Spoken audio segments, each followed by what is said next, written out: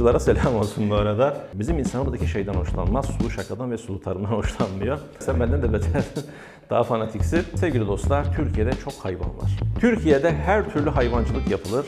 Çay, iklim isteği fazla olduğu için biz coğrafyacılar en azından ben nazlı ürün, kaprisli ürün diyorum. Yattığı yerden, ekmek elden, su gölden. Yemi ayağına geliyor, veteriner ayağına geliyor vesaire ve müzik bile dinletiyorlar. Sevgili Bordo Berelilerim, ilk 3 üniteyi anlattığım coğrafi konum, iklim ve yer şekilleri detaylı bir konu anlatımı yaptım. Tekrar dahi olsa ve geldik coğrafyanın önemli konu başlıklarından biri olan Türkiye'de tarım ve hayvancılık muhakkak bir sorunun geldiği, bazen iki sorunun geldiği ve çok fazla tarım ürünü anlattığımız sorulara nasıl geleceğini vurguladığımız konulardan bir tanesi. Yine bu derste diğer derslerinde olduğu gibi bu konuyu tereyağından kıl çeker gibi anlatmaya çalışacağım. Buyurun tarımın Türkiye ekonomisindeki yeriyle başlayalım. Tarımın Türkiye ekonomisindeki yeri nedir? Toplam gayri safi milli hasılanın, bak kalp çizdim bu arada size. Toplam gayri safi milli hasılanın %10'u tarıma dayalı. Yani Türkiye'de bir yılda kazanıldığı varsayılan mal ve hizmetlerin toplamı yaklaşık 900 milyar dolar. Bunun %10'u tarıma ait. Çok iyi mi? Vallahi çok da iyi değildir. Tarımda çalışan insan sayısı ne kadar? Türkiye'de tarımda çalışan insan sayısı toplam çalışanların %20'si kadardır. Bu ne demektir? Tarımda çalışanların oranı her geçen gün azalmaktadır ama sakın ha tarımsal üretim miktarımız azalmaz. Tarımdan elde ettiğimiz gelir azalmaz ama toplam gayri safi milli hastada bir kalp daha çizdim. Tarımın payı azalır. Hocam Peki ihracatımızda tarımın payı nedir? İhracatımızda %5 dolayındadır. Yine ihracatta tarımın payı çok fazla değildir diyorum. Hayvansal yem ihtiyacını karşılar. Aynı zamanda birçok sektörün de gelişmesine ve istihdam sağlanmasına tarım katkı sağlar diyorum. Efendim Türkiye arazilerini kullanma oranı EKPSS 2022'de buna benzer bir soru çıktı. Yıllardır vurguluyorum. Yine soru çıkma potansiyeli var. Şimdi Türkiye arazilerini baz aldığımız zaman Türkiye arazilerinin arkadaşlar %28'i, siz yuvarlak rakam %28 diyebilin, ormanlık arazi. Türkiye arazilerinin %31'i tarım arazisi. Tarım arazi oranı her geçen gün artmaktadır. Bunun yanına artı koyuyorum, bunun yanına artı koyuyorum çünkü ormanlık alanlar da artıyor. İyi şeyler oluyor Türkiye'de aslında bu anlamda baktığın zaman. Meraların alanı azalıyor. Meralar %28'di. Kaça düştü? %18. Hocam bu oranları tek tek ezberleyecek miyiz? Ezberleyeceksiniz demiyorum. Sadece sıralamayı bilin. En fazla tarım arazisi. Ondan sonra orman arazisi. Sonra mera geliyor bakın. Türkiye'de nadas arazi oranı ne kadardır? Onu da buraya yazayım. Türkiye'de nadas arazi oranı sadece %5'tir arkadaşlar. EKPSS'ye nasıl bir soru gelmişti? İnsanların yerleştiği alanların oranı mı fazla, ormanlık alanların oranı mı fazla? Yani iki şık arasında kalmıştı öğrenciler. Diğerleri zaten ediyorlardı. Yerleşim alanları o kadar fazla değildir arkadaşlar. Dolayısıyla Türkiye'de arazi işte %21'de diğer alanlara giriyor. Burada önemli olan tarım, orman, mera ve nadas arazisini bilmeniz. Bunlarda vurguladım. Nadas arazi azalıyor. Sulama arttıkça nadas arazi artıyor. Nadas arazi azalıyor. Nadas arazi en fazla nerede? İç Anadolu ve Güneydoğu'da. Ormanlık alanlar en fazla nerede? Karadeniz, Akdeniz yani %80'i kıyılarda toplanmıştır. Tarım arazi oranı en fazla nerededir? Güneydoğu. Güneydoğu'da sulamalı alan arttıkça tarım arazi oranı artmaktadır. Bunu karıştırmayın artık. Yüz ölçüm olarak nerede fazladır diye sorarsa İç Anadolu ama bölgenin yüz ölçümüne oranladığın zaman Güneydoğu'nun %45'i tarım arazisidir diyorum. Ondan sonra da Marmara gelir arazi oranında. Yüz ölçümde e, İç Anadolu bunu karıştırmayın. Türkiye tarımında verim arttırma çalışmaları sulama. Sevgili dostlar, Türk tarımının en büyük sorunu nedir? Sulama sorunu. Üç tarafı denizlerle çevrili bir ülkede neden sulama sorunu yaşanır? Çünkü deniz suyu sulamada kullanılmaz bir kenara koy. Hocam çok fazla akarsu var. Fırat, Dicle, Kızılırmak, Yeşilırmak, Sakarya, Meriç hep bahsediyorsunuz. Evet, Türkiye'deki akarsuların büyük bir kısmı derin vadilerden akıyor. Tarlalar yüksekte kalıyor. Derin vadiden suyu tarlaya ulaştırmak mümkün olmuyor. Bunun için ne yapılıyor? Önüne baraj yapılıyor. Su seviyesi yükseltiliyor. Oradan tarlalara ulaştırılıyor. O zaman Türk tarımının en büyük sorunu neymiş? Sulama. Sulama sorununu en derinden yaşayan bölgeler hangisi? Güneydoğu, İç Anadolu, Doğu Anadolu. Yani iç bölgeler. Türkiye'de sulamanın sorun olmadığı yerler kıyılar. Aslında kıyılarda da sulama ihtiyacı var ama bunu e, karşılayabiliyorlar. Çünkü yağışlar yeterli oluyor. Dolayısıyla sulama soruna dönüşmüyor. Sorun olduğu yerler iç bölgeler. Peki Türkiye'de sulama sorunu çözülürse neler değişir? Bununla ilgili yorum soruları çıkar. Arkadaşlar şayet sulamalı tarım gelişirse bu arada vahşi sulamanın terk edilip e, modern sulamaya geçilmesi lazım. Vahşi sulama nedir? Tarlayı salıyorsun, tarlayı salıyorsun. Suyu salıyorsun tarlaya zaten salma deniyor buna. Efendim sel gibi gidiyor. Yani bir kısmı yer altına iniyor, bir kısmı böyle üstteki verimli toprağı alıp götürüp erozyona neden oluyor. Bu yanlış bir sulama yöntemi. E, nedir doğru olan? Arkadaşlar damla sulama sistemi, modern yöntemleri tercih etmek gerekir. Şimdi sulama sorunu çözülürse tarımda iklime bağımlılık azalacaktır. Yani diyelim ki yağışlar olmuyor, o sene ürünler olumsuz etkilenecek. Hayır, böyle bir durum yaşanmıyor. Yağış eksikse bunu sulamayla karşılıyorsun. O zaman iklimin tarıma etkisi azalmış oluyor. Dolayısıyla yağış eksikliğini sulamayla karşılıyorsan tarlalardan her yıl verim alma mümkün oluyor. Her yıl verim aldığın için tarım ürünlerinde dalgalanma meydana gelmiyor. Toplam üretim artıyor, verim artıyor, nadas arazi azalıyor. Nadas arazi neydi? Tarlaları ekmeden bir yıl bekletme olayına biz nadas arazi, e, nadas olayı diyoruz. Peki nadas olayı en çok neredeydi? Yağışın az olduğu coğrafyalardaydı diyoruz. Evet, ürün çeşidi artar. Güneydoğu Anadolu bölgesinde sulamayla birlikte pirinç tarımı, mısır tarımı, pamuk tarımı, sebze tarımı artmıştır. Yakında şeker pancarı tarımı da başlayacaktır. Efendim ekonomik getirisi yüksek ürünlerin üretim alanı artar, göç azalır. Neden? Tarla verimsiz olunca, olunca insanlar göç ediyorlar. O da durmak için bir neden kalmıyor. Göçü de önlemiş oluyor. İntensif tarım metotları yaygınlaşmış oluyor. Dolayısıyla sulama tarımdaki birçok sorunu ortadan kaldırıyor. Geldik makineleşme. Arkadaşlar Türk tarımında makineleşme sorunu vardır. Neden? Bir maliyet, iki zihniyet meselesi. Maliyet, tarım makineleri çok pahalı. Bir biçer döverin fiyatı şu an kaç milyondur diye tahmin ediyorum. Ee, dolayısıyla maliyet. İkincisi zihniyet. İnsanlar buna pek geçmek istemiyorlar. Ee, babadan kalma yöntemleri kullanıyorlar ki bunlara biz ekstansif yöntem diyoruz. Yani makinenin tarıma satıcı, e, sağlayıcı o katkıyı e, ya da bilmiyor. Dolayısıyla da ön yargıyla yaklaşıyor. O zaman Türkiye'de makineleşme yeterli değildir. Nedenlerden biri maliyet, ikincisi zihniyet, üçüncüsü adamın tarlası çok küçüktür. Küçük tarım alanlarıdır. O yüzden makine kullanmaya gerek duymuyor. Bir diğeri de çok engebelidir. Makineyi istese de kullanıyor. Neresi gibi? Karadeniz gibi. Geldim gübreleme. Türk tarımında gübreleme sorunu vardır. Neden? Gübreyi ithal ediyoruz. Pahalı, dolar artıyor. Gübrenin çuvalı kaç para olmuş? Çiftçi bunu gıdım gıdım kullanıyor. Dolayısıyla verim de gıdım gıdım artıyor. O zaman gübreleme sorunu vardır. Çünkü gübreyi ithal alıyoruz. Pahalı.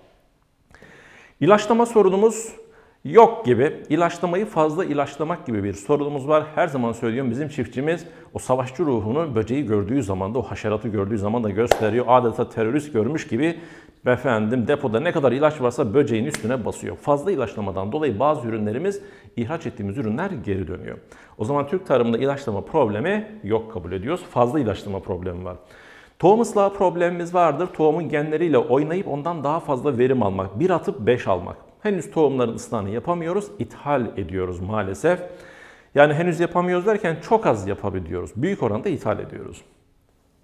Çiftçinin eğitimi tarımda verim arttıracak hususlardan biridir. Yani çiftçiye hani hep söylediğim bir e, tabir vardır. Çiftçi böyle kani diye bir amca var. Çiftçilikle uğraşan. Ne diyor? 40 yıllık kani şimdi lütfen yani.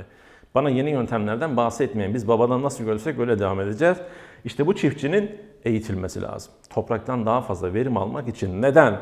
Ben bu dersleri anlatırken duygularımdan arınmış olarak anlatamıyorum sevgili dostlar.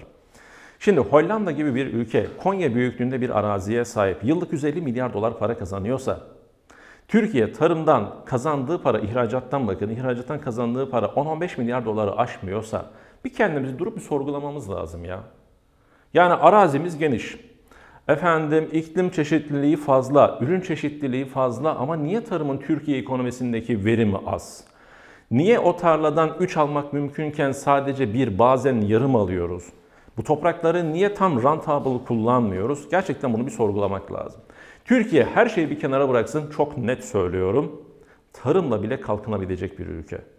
Ya Hollanda 150 milyar dolar. Bakın Hollanda'nın 40 katı büyüklüğündeyiz biz neredeyse. Hadi 40 olmasın 15 katı büyüklüğünde tarım arazimiz var.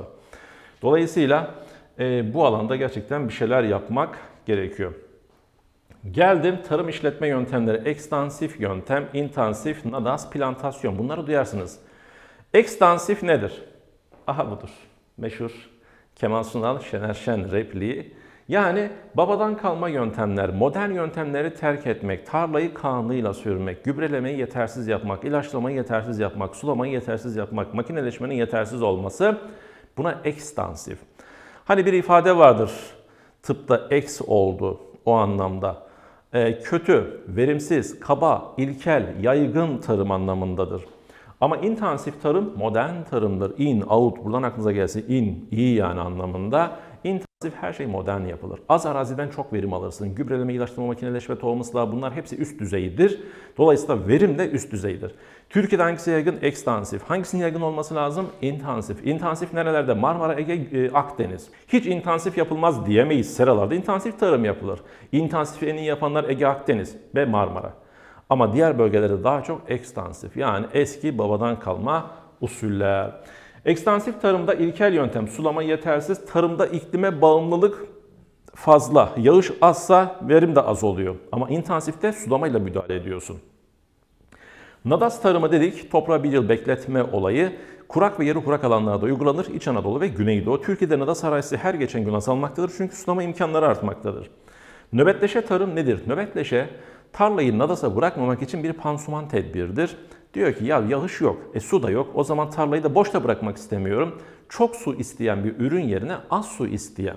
Şeker pancarı yerine nohut Mesela yonca, bari onu ekeyim, tarla boş kalmasın, erozyon olmasın diye. Buna nöbetleşe diyoruz. Diğer adıyla münavebeli tarım. Plantasyon tarım Türkiye'de uygulanmaz. Güney Amerika ülkelerinde uygulanır. Çok geniş tarım arazilerinde tek tip ürün ekme olayıdır. Tarlanın bir ucundan diğerine uçakla gidilecek kadar tarım arazisi genişliği söz konusu. Türkiye'de böyle bir tarım yok. Hangisi yok diye sorarsa plantasyon yok. Ve geldik tarım ürünlerine. Sevgili dostlarım, Türkiye'de tarım ürünlerinde olgunlaşma süresinin en kısa olduğu bölgenin Akdeniz olduğunu bileceksiniz. Olgunlaşma süresinin en uzun sürdüğünün Doğu Anadolu bölgesi olduğunu bileceksiniz. 7 coğrafi bölgede aynı anda buğday ekerseniz en son nerede olur? Doğu Anadolu. Neden? Sıcaklık düşük. O zaman olgunlaşma süresini etkileyen faktör nedir? Sıcaklık. Olgunlaşma süresiyle e, hasat süresini karıştırmayınız.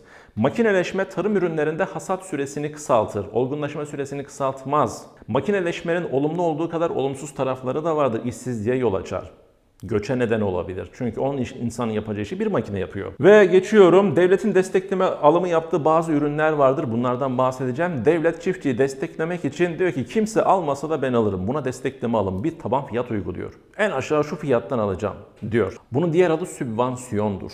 Buğdaya bunu yapar, çaya yapar, kayısıya yapar, e, fındığa yapar. Devlet bu ürünlere destekleme alımı yapar. Çünkü bu ürünler stratejik ürünlerdir. Bunu bilelim. Aspir ve kanola dediğimiz tarım ürünlerinin biyodizelde kullanıldığını bilin. Yer yer ayçiçeği de kullanılır biyodizel yakıt olarak. Tarım ürünlerini şimdi en çok üretilenden baş en çok üretilen tahıllardır Türkiye'de. Türkiye'de ekili arazi dikili araziden fazladır.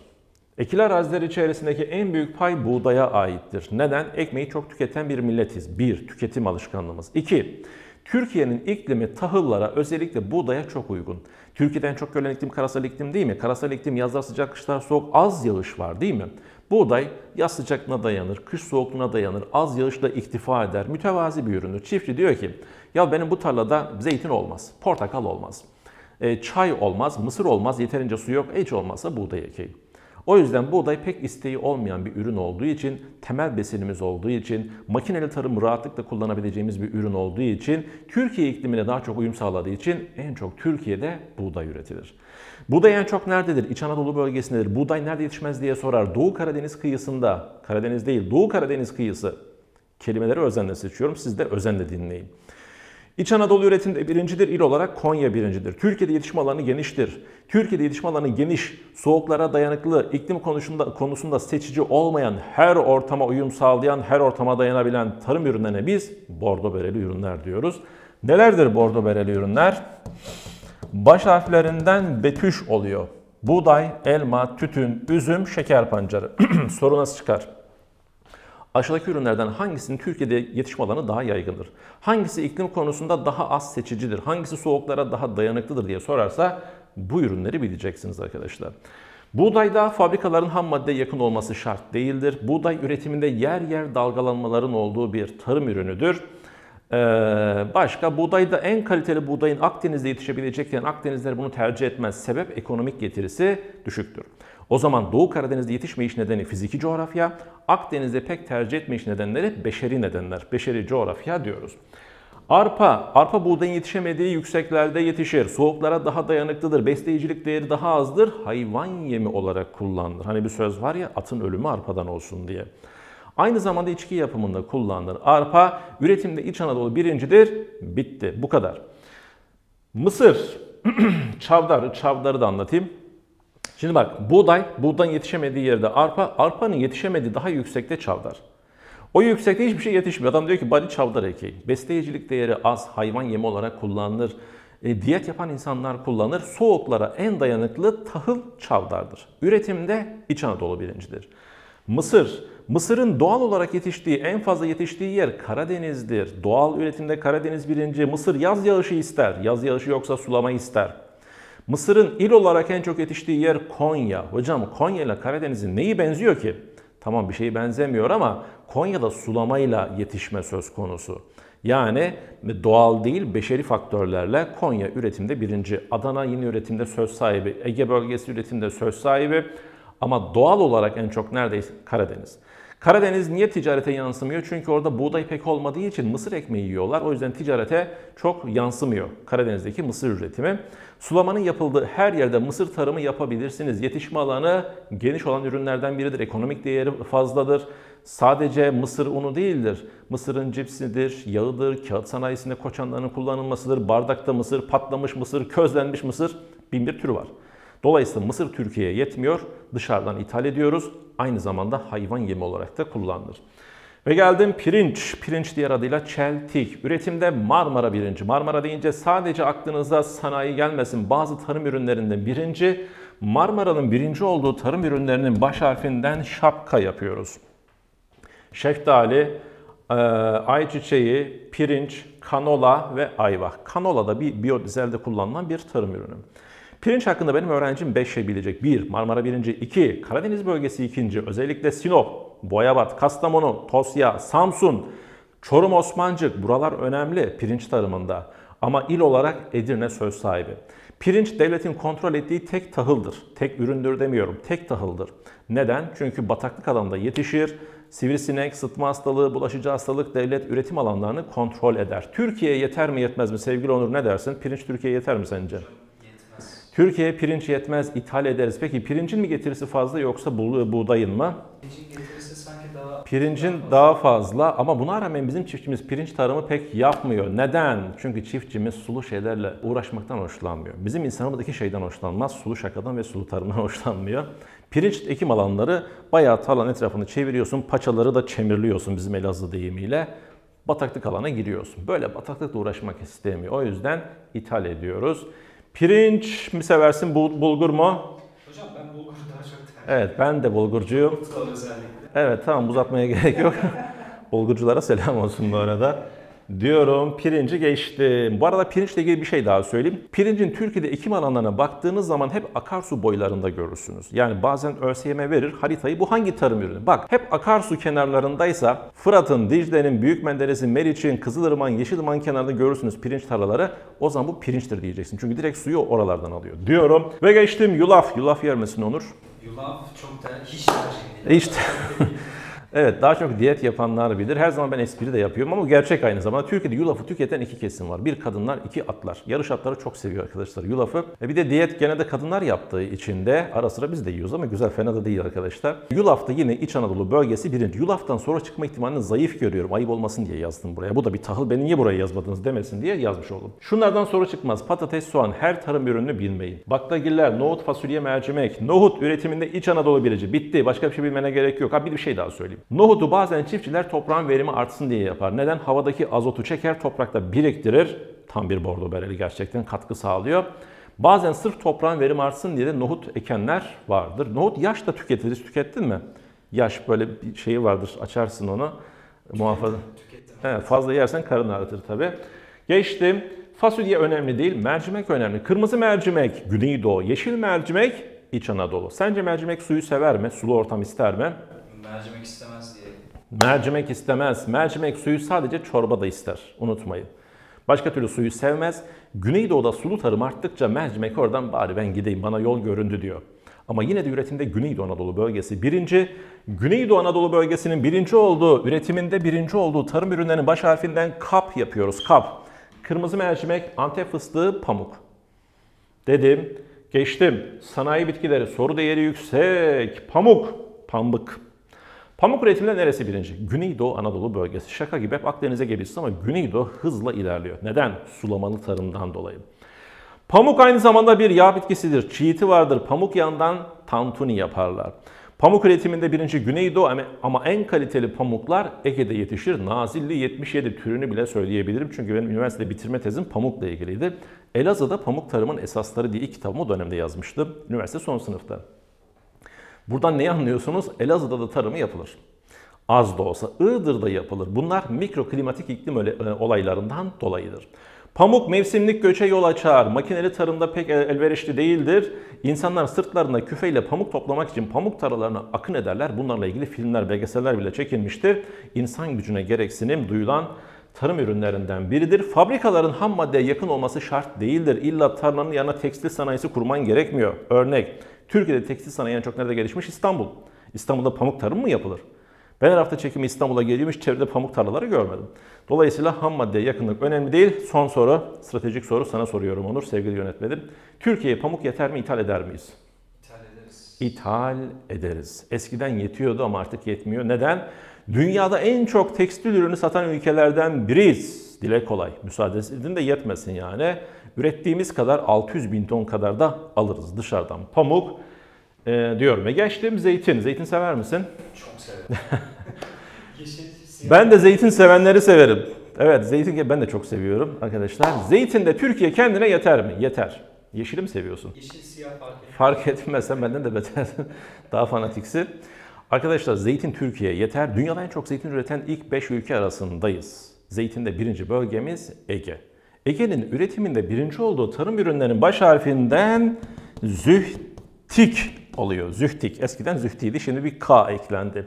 Zeytin, üzüm, haşhaş, tütün, incir ve kane, keten. Bu tarım ürünlerinde Ege bölgesi birinci. Zeytin için 5 şey bileceksin. Zeytinden durup durup ÖSYM soruyor. Onlar da zeytini seviyor benim gibi, bizim gibi.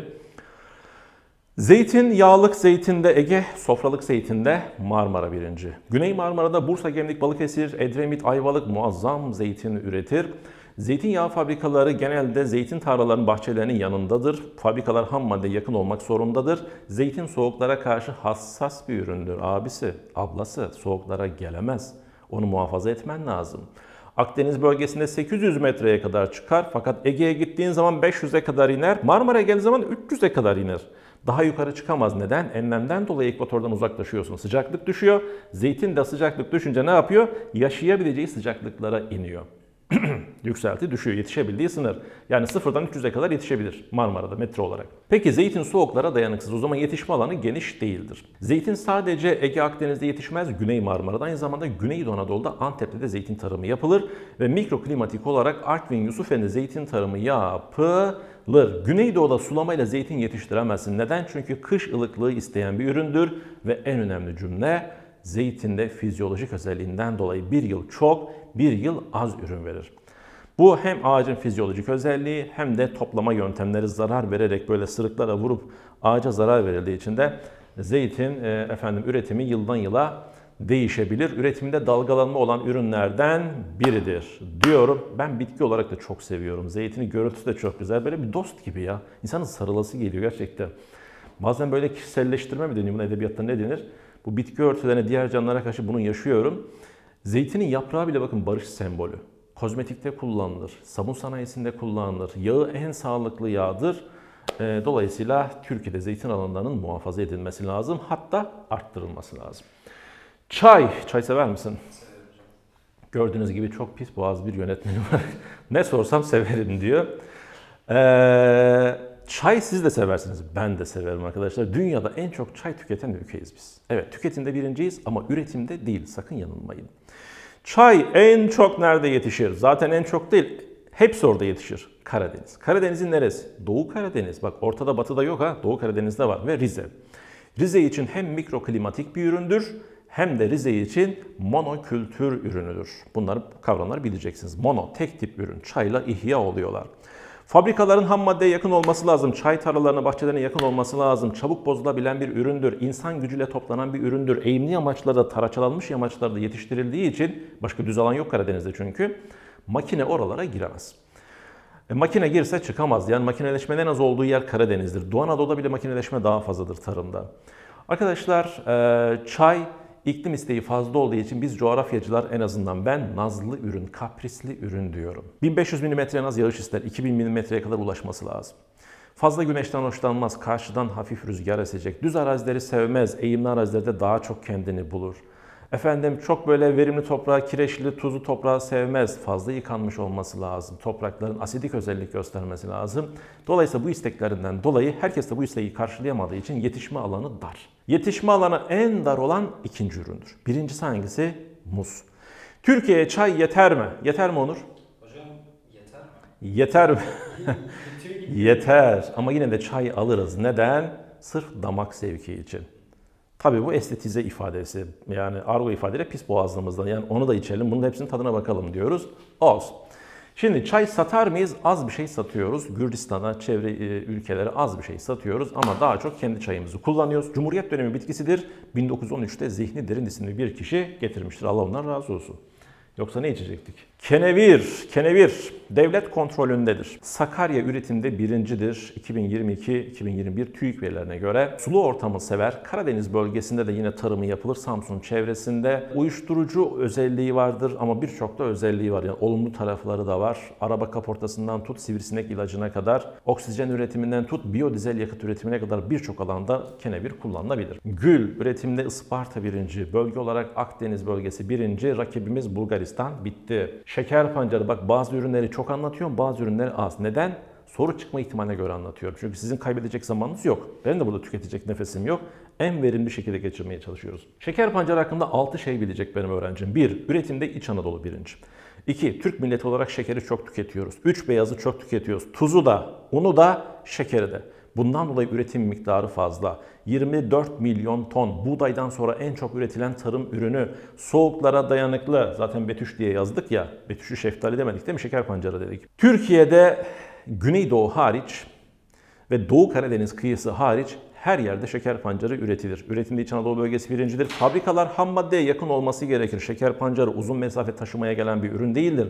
Devletin kota uyguladığı ürünlerden biridir. Çünkü fabrikaların işleyebileceği kadar üretim yapmana yapmanı ister devlet. Daha fazlası işlenemeyeceği için bozulur. Şeker fabrikalarının geliştiği yerlerde besi ve ahır hayvancılığı da gelişir. Çünkü küspesi hayvanlar için çok ideal bir yemdir. Aynı zamanda kimya sanayisinde kullanılır ispirto üretilir şeker pancarında. Şeker pancarında mevsimlik istihdam sağlanır. Cumhuriyet dönemi bitkisi. Mevsimlik istihdam derken şunu kastediyorum. Bazı şeker pancarı alım dönemlerinde dışarıdan işçi alımı yapar. Türkiye'de 33-35 tane şeker fabrikası vardır. Türkiye'de en yaygın sanayi dallarından biridir arkadaşlar. Şekerle ilgili, şeker pancarıyla ilgili bilmeniz gereken bakın çok önemli şeylere vurgu yaptım. Türkiye'de şeker fabrikasının olmadığı tek bölgenin Güneydoğu olduğunu söylemiş olayım. Şeker pancarının Cumhuriyet dönemi bitkisi olduğunu ekleyelim. 1924'lü yıllarda Nuri Şeker tarafından Türkiye'ye getirilmiştir.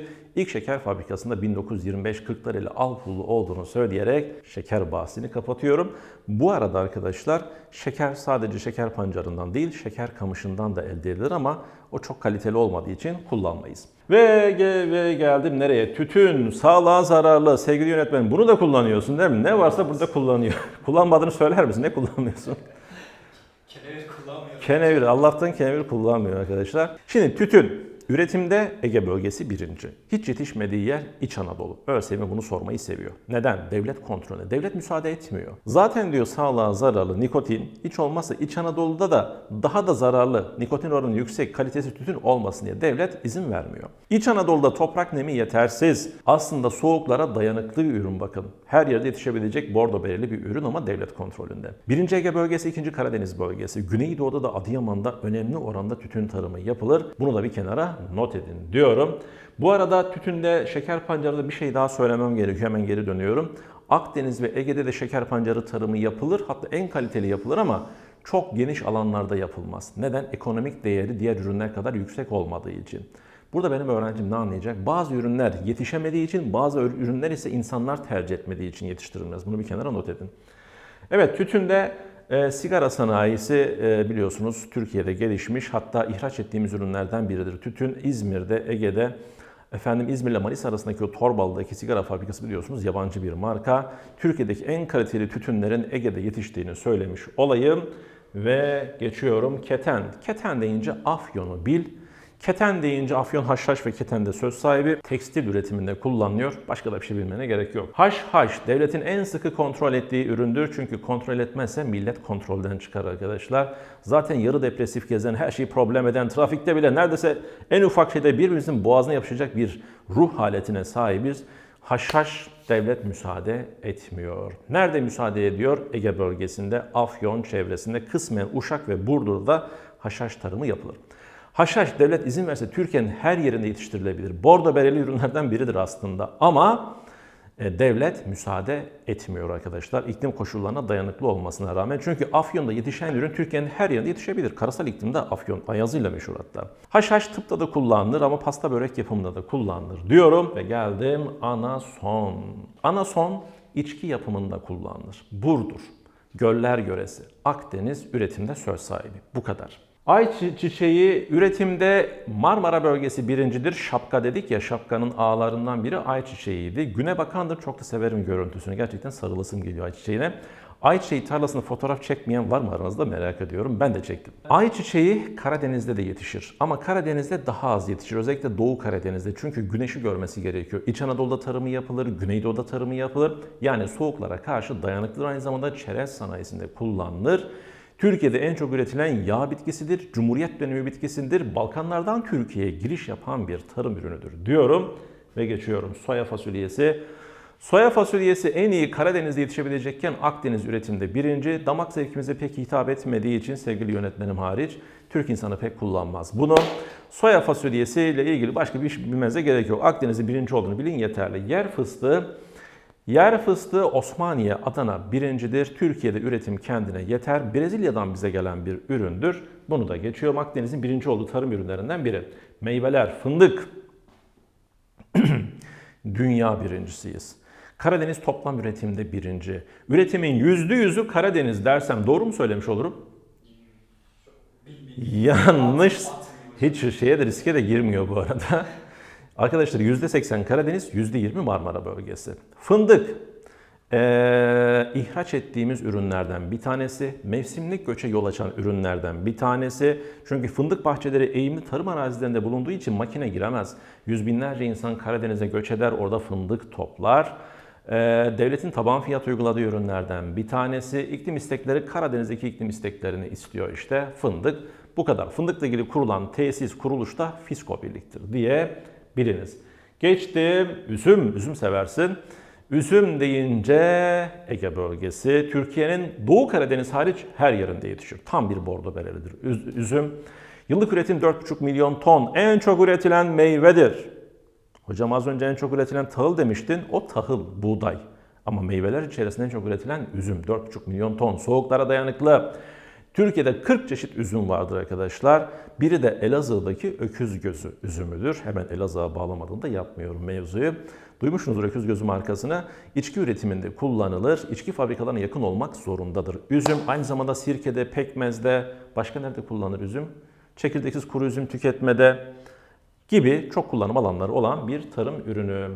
Doğu Karadeniz'de güneşli gün sayısı az ya ondan dolayı üzüm tarımı yapılamıyor. Zaten sorular karşınıza çıktığı zaman arkadaşlar şuna bakacaksınız. Tarım ürünü ne ister? Bir, tarım ürünü ne ister? Bir, sıcaklık ister, kış sıcaklığı. İki, yağış ister. Üç, güneşi görmek ister. Bir ürün Karadeniz'de yetişmiyorsa nedeni nedir o zaman? Güneşli gün sayısı az. Bir ürün Doğu Anadolu'da yetişmiyorsa nedeni nedir? Sıcaklık az. Bir ürün Güneydoğu'da İç Anadolu'da yetişmiyorsa nedeni nedir? Yağış az. Peki bu faktörlerin en iyi bir arada bulunduğu tarıma en elverişli bölgemiz Akdeniz. Ondan sonra da Ege bölgesi geliyor. Efendim geldim elma. Elma da bölge olarak İç Anadolu, il olarak Isparta. Soğuklara dayanıklı Türkiye'nin her yerinde elma tarımı yapılabilir. Turunçgil. Türkiye turunçgil üretiminin %85'i Akdeniz, geriye kalan %10 Ege, %5 de Güney Marmara. Ama az da olsa Rize'de mikroklimatik olarak mandalina tarımı yapılır. İhraç ettiğimiz bir üründür. Dünyada ilk 5'e gireriz. Soğuklara karşı dayanıksızdır. Akdeniz'e yetişmiş olması size fikir versin bu konuda.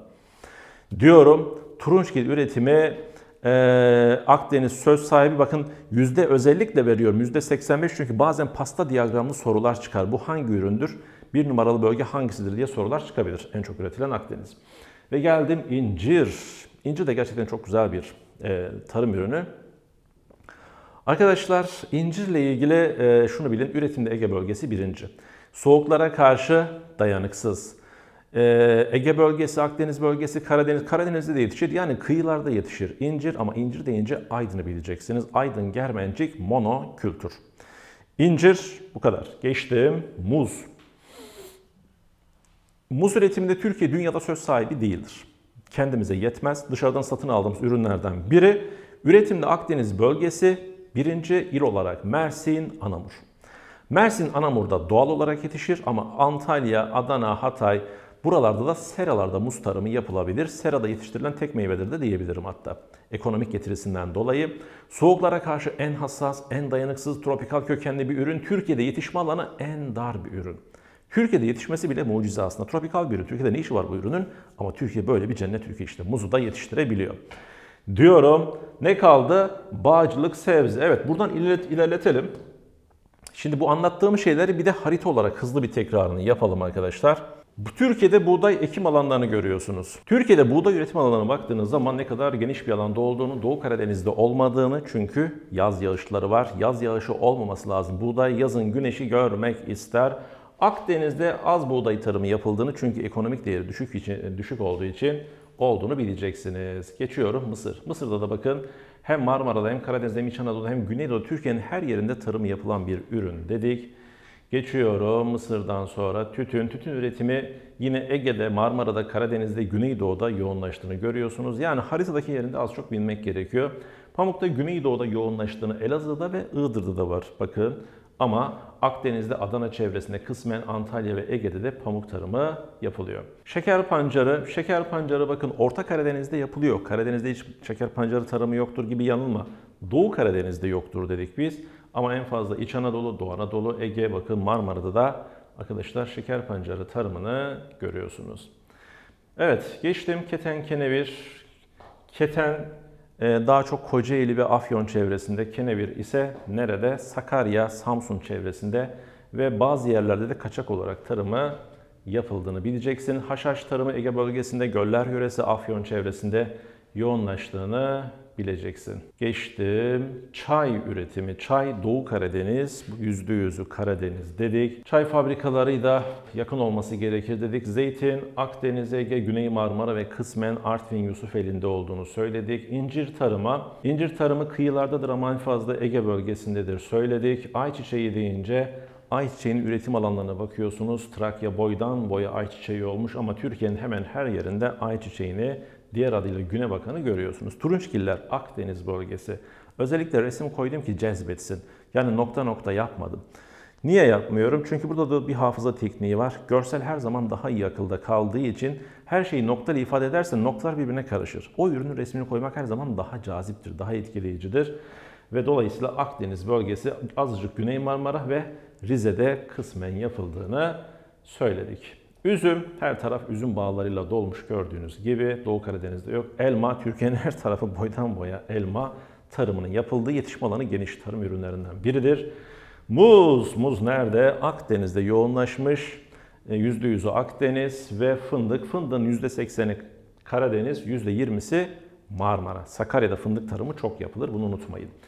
Kayısı ve kivi. Ha, bu arada kayısı e, üretimde dünyada söz sahibiyiz kayısı üretiminde. Doğu Anadolu'nun birinci olduğu tek tarım ürünüdür. E, efendim Kivi'de de il olarak Yalova, bölge olarak Karadeniz söz sahibidir. Karadeniz'de artık fındık bahçeleri sökülüyor, kivi bahçesine dönüştür diyor. Bunu da söylemiş olayım. Geçtim. Antep fıstığında dünyada bazen birinciyiz, bazen ikinciyiz. Rakibimiz İran. Antep fıstığı en çok Şanlıurfa'da yetişir. Adı Antepliler pazarladığı için adını Antep fıstığı koymuştur bu arada. Ve geçtim yer fıstığı da Adana, Osmaniye buralarda yoğunlaşmış. Aspir, Kolza. Aspir İç Anadolu, Kolza neresi? Marmara'da yoğunlaşmış biyodizel yakıt üretiminde kullanılır. Kırmızı yeşil mercimek, kırmızı mercimek Güneydoğu, yeşil mercimek İç Anadolu'da, soya fasulyesi de bakın Akdeniz ve Karadeniz'de tarımı yapılır. Ve geldik güzel bir haritaya. Arkadaşlar bunu e, benim e, haritalarla coğrafya kitabımda bulabilirsiniz. Haritalar ve hafıza teknikleri coğrafya kitabım e, tek bir kitaptır. Hem haritalar hem hafıza teknikleri. Harita harita çünkü bana soruyorsunuz hocam bunları nereden buluruz diye kitabın linkini bırakacağım. Temin etmek isteyen arkadaşlar orada elinde kitaptan bakabilirler. Şimdi Karadeniz'in birinci olduğu tarım ürünleri kenevir. Ama keneviri çıkarıyorum artık. 2021 TÜİK verilerine göre ne oldu? Kenevir Sakarya'ya geçti. Fındık, kivi, çay üretiminde Karadeniz birincidir. Marmara bölgesi ayçiçeği, çeltik, keten ve şeftali, pardon keteni buradan aldık. Keten nereye geldi? Keten Ege bölgesine geldi. Kanola üretiminde birincidir. Zeytin, üzüm, tütün, incir, haşhaş üretiminde Ege bölgesi birincidir. İç Anadolu'nun birinci olduğu ürünler yeşil mercimek, çavdar, yulaf, arpa, fasulye. Bakın İç Anadolu yağış az ama bayağı tarım ürünü de birinci. Özellikle az suyla iktifa edebilen tarım ürünlerinde nohut, buğday, şeker pancarı, elma, fasulye, yeşil mercimek, yulaf, çavdar, arpa, patates, badem. Hadi badem önemli değil. Şimdi burada Mısır da İç Anadolu'ya geldi. Konya birinci oldu artık. Akdeniz bölgesi gül, seracılık, narenciye. Zaten narenciye demek turunçgil demek diğer adıyla. Soya fasulyesi, muz, yer fıstığında ve sebzecilikte Akdeniz bölgesi söz sahibi. Anason var mı? Anason, Anason'a da birinci. Güneydoğu kırmızı mercimek, pamuk ve antep fıstığında ve Doğu Anadolu, koca Doğu Anadolu sadece kayısıda birinci. Bu ne demek? Doğu Anadolu için tarım önemli bir ekonomik faaliyet değil. Çünkü iklim şartları çok sert. Her tarım ürünü oraya uyum sağlayamıyor. Şimdi anlattığım şeyleri hızlı hızlı bakın özetleyen cümleler. İhracata yönelik ürünlerimiz turunçgil, fındık, kayısı, üzüm yani meyveler genel olarak. İthal ettiklerimiz mısır, pirinç, muz, tropikal ürünler. Mısır bize yetmiyor, pirinç yetmiyor ve muz da yetmiyor. Tropikal ürünler derken mesela kaju da, ananas da, Hindistan cevizi de bunlardan ee, bazıları diyorum. Yetişme alanı en geniş olanları betüş diye kodladık. Yetişme alanı dar olanlar hangisi? Muz ve çay. En dar olanlar ama bir zeytinin de, bir turunçgilin de, bir incirin de yetişme alanı dardır. Kıyılarda yetişenler, kıyılarda yoğunluk gösteren tarım ürünlerinin gene de yetişme alanı dardır. İklim konusunda seçicidir. Bunu böyle biliniz. Destekleme alımı yapılan ürünler çay, fındık, şeker pancarı, tütün, buğday. Mevsimlik göçe neden olanlar pamuk, fındık, çay, sebze. Sebze üretimi de seralardan tek tek toplandığı için bu da mevsimlik göçe yol açabilir. Devlet kontrolünde olan tarım ürünleri tütün, çay, fındık kaliteyi korumak için haşhaş ve kenevir uyuşturucu yapımından dolayı pirinç sıtma hastalığından dolayı ve şeker pancarı fabrikaların işleme kotasından dolayı devlet kontrolündedir diyoruz. Devlet kontrolünde olan ürünleri şöyle hafıza tekniğiyle e, vermeye çalışırsak da şöyle bir senaryo yapıyorum. Bakın burada polis baskın yapıyor, yasak diyor. Adam ne diyor? Yasal. Adam da ters bir ay, yasal. Bu ne diyor? Yasak. Ne yasak? Devlet kontrolünde olan ürünler. Bunlardan bahsediyor. Adam pirinç pilavı yiyor masada. Pirinç pilavının taban kenarında kene gelmiş. Ne kadar iğrenç değil mi? Kene, kenevir hatırlatacak. Pirinç pilavı, pirinç tarım. Adam bir yandan sigara içiyor. Tütün, devlet kontrolünde olan, yasakladığı ürünlerden. Her yerde yetişmesine izin vermediği ürünlerden. Masada haşhaş tohumları görüyor. Adam da tam masa yapmış yani ha. Yemekten sonra da çay, şeker, çay keyfi yapacak. Demek ki çay ve şeker de devlet kontrolünde kalite düşmesin diye. Hızlı bir şekilde anlattım ama dediğim gibi bunların uzun versiyonunu hafıza videolarında bulabilirsiniz. Su isteği yüksek olan ürünler pirinç, mısır, çay. El emeği yüksek olan ürünler pirinç, çay, tütün. Çiftçiyi çok yoran ürünlerdir bunlar. Onun haricinde yaz kuraklığı isteyen ürünler buğday, şeker pancarı, pamuk, mercimek, yer fıstığı. Bunlar illaki yazın bir kuraklık istiyor. Yazın yağıştan asla hoşlanmıyor. O yüzden Doğu Karadeniz'de bunları yetiştiremezsin. Sanayisi ham maddeye yakın olmak zorunda olan ürünler, şeker pancarı, çay, ayçiçeği, zeytin, taze sebze, meyve. Bunlara dayalı sanayiler bu tarlaların, bu tarım alanlarının kenarına, yakınına kurulması lazım. Çünkü bozulabilecek ürünler diyorum. Dünya üretiminde birinci olduğumuz ürünler demeyelim de söz sahibi. Çünkü bu sıralama çok sık değişiyor. Ama fındıkta birinciyiz. Antep fıstığı, ceviz, badem, incir, kayısı, elma, üzüm, kiraz. Bunlarda söz sahibiyiz dünyada. Türkiye'de tarım ürünlerinde olgunlaşmanın en kısa olduğu bölge Akdeniz, sıcaklıktan dolayı en uzun olduğu bölge Doğu Anadolu. Cumhuriyet dönemi bitkileri ise şeker pancarı, ayçiçeği ve çay olduğunu bir kez daha özetlemiş oldu. Arkadaşlar seracılık en fazla Akdeniz, özellikle Antalya. Seracılık iklimin sıcaklık faktörüne karşı bir kontrol sağlar. Yani tarım ürünleri kışılıklığı ister ya, Akdeniz bölgesinde serayla kapatıyorlar. Yani genelde cam oluyor, plastik oluyor. Neden? Güneşi geçirsin diye şeffaf malzeme. O kışılıklığı biraz daha artsın diye orada bir muhafaza yapıyor, kısmen ısıtıyor ve orada sebze tarımı yapıyor. Seracılık güneşli gün sayısının fazla olduğu her yerde yapılabilir. Ama Akdeniz'de maliyet daha azdır. Çünkü neden? Kışın orayı ısıtman gerekiyor. Doğu Anadolu'da Erzurum'da da yapabilirsin sera ama ısıtma maliyeti çok fazla olur, mantıksız olur. Niye Antalya'daki seralar Adana'ya göre daha fazla? Çünkü Adana'da geniş tarım alanları var, delta ovası var. Antalya daha dağlık, tarım alanları daha dar, dar alandan daha çok para kazanalım diye seracılığa başvurmuşlardır. Bunu da söylemiş olayım. Ve geldik Türkiye'de hayvancılık. Sevgili dostlar, Türkiye'de çok hayvan var. Türkiye'de her türlü hayvancılık yapılır ama Türkiye'de en fazla bulunan hayvan türü hangisidir? Koyundur. Koyun en çok nerede? Doğu Anadolu, sonra İç Anadolu. Koyun ne ister? Bakın bunlar hep soru olarak geliyor ama şöyle bir kategorize edelim. Türkiye'de hayvancılık büyükbaş, küçükbaş, ipek, arıcılık, kümes ve su ürünleri dersek koyun küçükbaş hayvancılığa giriyor. Küçükbaşta koyun ve keçiyi bileceksin. Koyun ne ister? Fazla yaştan hoşlanmaz, düz arazi ister. O zaman Karadeniz'de koyunu pek aramayacaksın. Düz olacak, yağış az olacak bir de bozkır bitki örtüsü olacak. Koyunun olduğu yerlerde yünü dokuma gelişir çünkü yünleri var koyunun. Koyun neden yağışlı ortamdan hoşlanmaz? Çünkü çok su, yağış olursa tüyleri iyice ağırlaşır, kendini taşıyan. Bu benim yorumum tabii. Aklınızda kalsın diye böyle söylüyorum. Peki keçi. Keçi dendiği zaman arkadaşlar keçiyi nerede arayacaksın? Kıl keçisini Akdeniz'de, tiftik keçisini Ankara ve Güneydoğu'da. Güneydoğu'da Siirt ve Mardin çevresinde. Kıl keçisi neden Akdeniz'de yaygın? Çünkü arazi çok engebeli, koyun gezemez. Çünkü arazide yaz yağışları yok, yeterince mera yok, büyükbaş hayvanın da orada işi yok bundan dolayı. Meydan kime kalıyor? Keçiye. Keçi her yerde yapılabilir. Akdeniz'de olmak keçinin değil, Akdenizlerin tercihidir. Bunu unutmayınız. Oradaki yörükler, ovalarda bu genelde keçi yetiştiriciyle uğraşırlar diyorum. Keçi bir zamanlar ormanlara zarar veriyordu fakat e, şeyi yasak, yetiştiriciliği yasaktı ama daha sonra devlet bu yasağı kaldırdı. Büyükbaş hayvancılık, büyükbaş hayvancılığı biz ikiye ayırırız. Mera hayvancılığı ve besi ahır hayvancılığı. Meralarda küçükbaş hayvancılık da yapılır ayrı mesele. Ama büyükbaş daha karlı olduğu için gene de meralarda büyükbaş tercih edilir. Mera hayvancılığı Erzurum, Kars, Ardahan, Kuzeydoğu Anadolu. Mera nedir? Açık arazide otlak alanda hayvanların otlaması, saldım çayıra, mevlam kayıra. Çayırlar orada daha fazla. Erzurum, Kars, Ardahan. Niye fazla? Çayır nedir bu arada? Sevgili yönetmenim arkaya bir çayır görüntüsü verirsen sevinirim. Alpella ineği vardı ya mor inek. Otladığı yüksek boylu otların olduğu yerlere çayır denir. İşte bu çayırlar nerede? Erzurum, Kars, Ardahan ve kısmen Doğu Karadeniz.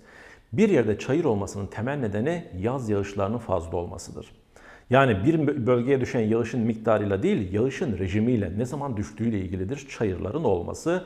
Erzurum Kars'ta niye bu kadar çayır var, niye bu kadar yaz yağışı var? Çünkü ortalama yükselti fazla. Bakın nereyle bağlantıyı kurduk.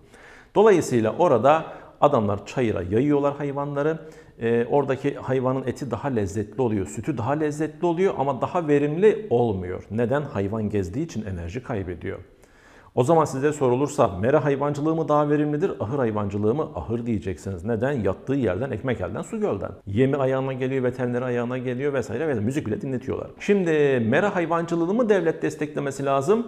Yoksa ahır hayvancılığını mı? Ahır hayvancılığını desteklemesi lazım. Ama hocam meranın eti, hayvan eti daha lezzetli. Arkadaşlar sınavda hangisi daha lezzetli diye sormuyorlar. Hangisi daha verimli? Hangisinden daha çok süt elde ederim? Hangisinden daha çok et elde ederim? Bakın meradaki hayvandan günlük 15-20 litre en fazla maksimum süt alırsın ama ahırdaki hayvandan 45-50 litre alıyorsun. Niye? Yattığı yerden, ekmek elden, su gölden. İyi besleniyor bir de. Mera'daki hayvancılığı neden tavsiye etmemelisin? Devlet niye bunu desteklemiyor? Çünkü yağış olduğu zaman mera oluyor. Yağış olmadığı zaman ot olmuyor. O zaman hayvandaki verim düşüyor çıkmış sorudur. Bir bölgedeki et ve süt verimi o bölgeye düşen yağışla doğru orantılıysa orada hangi tür hayvancılık yapılıyordur? Mera hayvancılığı. Bunu unutmayınız. Peki besi ve ahır hayvancılığı nerede gelişmiş? Marmara bölgesinde. Neden? Çünkü nüfus orada. Bakın Marmara'da ahır hayvancılığı büyük mandıraların çiftlikten olması nedeni yer şekilleri düz ya da iklim ılıman ondan dolayı değil. Neyle ilgili? Beşeri faktörler. Tüketici nüfus tek başına İstanbul 16 milyon. İstanbul'da et ihtiyacı olduğu zaman Erzurum'dan mı sipariş verecek? Hemen yakında çiftlikler olması gerekiyor. Mevzuyu anladığınızı düşünüyorum. Bu arada Türkiye'de büyükbaş hayvan sayısı Konya ve Erzurum'da fazladır. E, ahır hayvan olarak, sığır olarak Konya ilk sırada ama e, mera hayvancılığında da Erzurum ilk sırada olduğunu söylemiş olayım. İpek böcekçiliği. İpek böcekçiliği deyince Diyarbakır'ı bileceksiniz. İpek böceği dut ağacının yaprağından beslenir. Dolayısıyla iklimsel koşullardan dolaylı olarak etkilenir. İpek böceği Diyarbakır, Elazığ, Bilecik, Ankara, Antalya ondan sonra Bursa. Eskiden Marmara ilk sıradaydı, Bursa ilk sıradaydı ama e, suni ipek çıkınca doğal ipek de çok pahalı olduğu için artık insanlar tercih etmez oldu. Arıcılık, arıcılık deyince eskiden Muğla'ydı fakat 2021 TÜİK verilerine göre Adana ilk sırada şaşırtıcı bir şey gerçekten. E, o Muğla'daki yangınların etkisi oldu olabilir ama Adana şu anda ilk sırada. Fakat siz yine de Adana'yı, Muğla'yı ve Ordu'yu bileceksiniz. İklimden en çok etkilenen hayvancılık şeklidir arıcılık. Neden? Direkt iklim bitki, bitkinin poleninden çiçeğini e, alıyor. Polenlerini toplayarak bal yapıyor. O zaman iklimsel bir problem çiçeklere, polenlere dolayısıyla arıcılığa etki edecektir.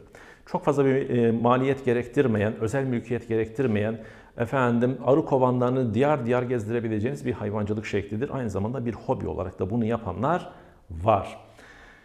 Geçiyorum. Bu arada bal demişken Rize'nin Anzer balı önemlidir arkadaşlar. Dünyada ismi bilinen ballardan biridir. Kümes hayvancılığı. Kümes hayvancılığı nerede? Marmara ve Ege'de. Sebep? Nüfus orada. O zaman siz neyi bileceksiniz? Bazı hayvancılık türlerinde fiziki koşullar etkili, bazılarında beşeri tercihler etkili. Niye? Kümes hayvancılığı nüfus orada çünkü. Türkiye'de zaten öğrenciler en çok neyi tüketiyor? Tavuk dürüm. Dolayısıyla bu kadar tavuk yetmiyor yani. En çok öğrenci nerede? Marmara bölgesi. Dolayısıyla kümes hayvancılığı o coğrafyada yaygın. Kümes hayvancılığı aynı zamanda ihraç ettiğimiz ürünler arasındadır. İklimsel koşullarına etkilenmez çünkü kapalı alandadır. Bakın bir şeyi bir kez daha netleştirelim.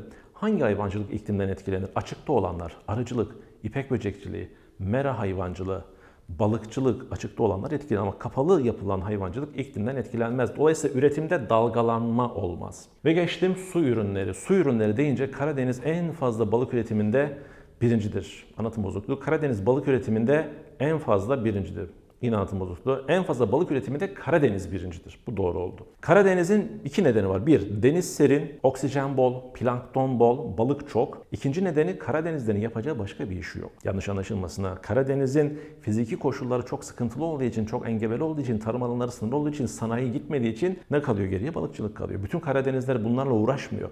Özellikle Doğu Karadeniz. Yani iki neden var. Hem fiziki koşullar hem de beşeri nedenler. Yani iş olanaklarının sınırlı olması. Peki Türkiye'de kültür balıkçılığı en çok nerede yapılır? Ege'de. Yani insanların beslediği balık kafeslerini suya koyuyorlar. İnsanlar besliyor balığı. Kültür balıkçılığı unutmayınız. Balıkçılık potansiyeli yüksek olduğu yerlerden biri de neresidir arkadaşlar? Marmara Denizi. Akdeniz'den gelen alt akıntı ile Karadeniz'den gelen üst akıntının karşılaştığı balık çeşitliliğinin fazla olduğu yerlerden biridir. Deniz balıkçılığı hakkında bunları söylüyorum. Göl balıkçılığında Van Gölü birinci çıkmış sorudur. Ama tatlı su balıkçılığı dendiği zaman Beyşehir ve Eğirdir gölleri gelecek. Özellikle Eğirdir ve Beyşehir gölünde tatlı su istakozu dediğimiz kerevit üretimi söz konusudur. İç sularda da alabalık tesisleri görülür. Biri de Elazığ Keban Barajı'nın altında Türkiye'nin en büyük alabalık tesisidir. Evet, Türkiye'de balık tüketimi çok yeterli değildir. Türkiye'de balıkçılığın sorunları nedir diye sorar. Sevgili arkadaşlar, genel tekrar dinleyen arkadaşlar, ÖSYM'nin soru tarzı en fazla nerede diye sorar, artı sorunlar nedir diye sorar. Balıkçılığın en büyük sorunu açık deniz balıkçılığının yapılmayışıdır. Genelde kıyılara yakın yerlerde avlanıyorlar. İkincisi küçük tekneler yerine büyük gemilerle avlanmaya gitmesi lazım. Üçüncüsü zararlı avlanma yöntemlerinin azaltılması lazım. Trolle avcılık gibi. Dinamitle, elektrikli avcılık gibi enteresan enteresan avcılık şeyleri var.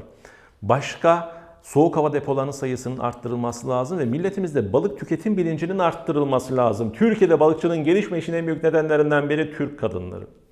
Evet. Niye? Aman ev kokacak, aman kim temizleyecek, git balkonda pişir. Erkeklere illallah dedirtiyorsunuz.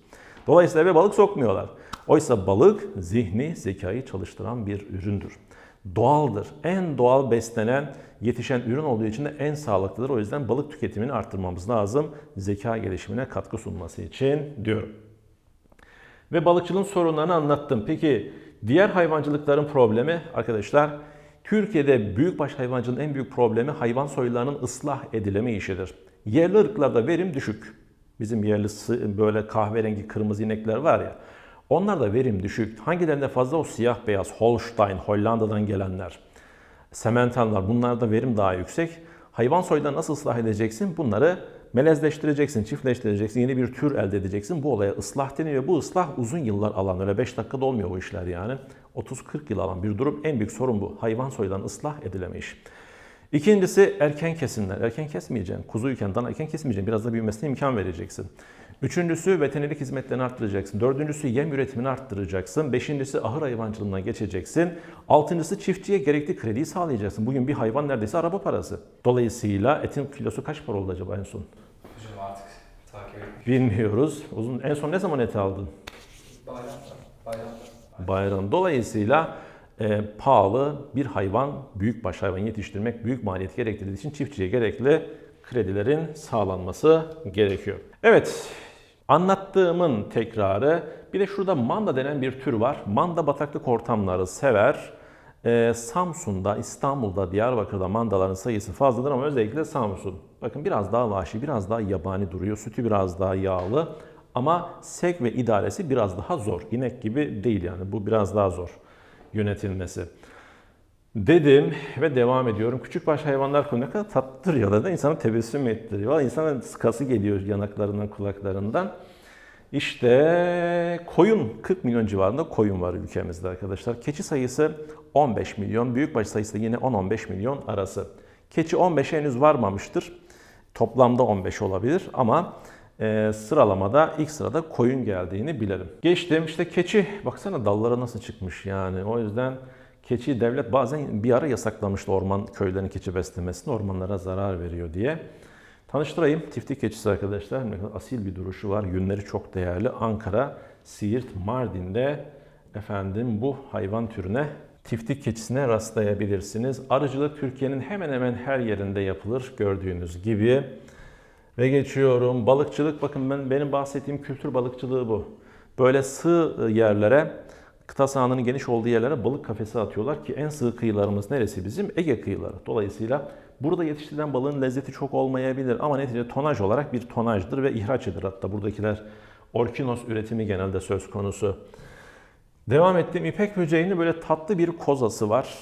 Dut ağacı yiyerek bu kozayı örüyor ve bu koza yaş koza üretiminde de neresi birinci? Diyarbakır dedim. Yine hızlı, dolu dolu bir ders anlatmaya çalıştım. Umarım faydalı olmuştur. Ben Mehmet Eğit. Yaşadığımız coğrafyalara bordo verili selamımı gönderiyorum.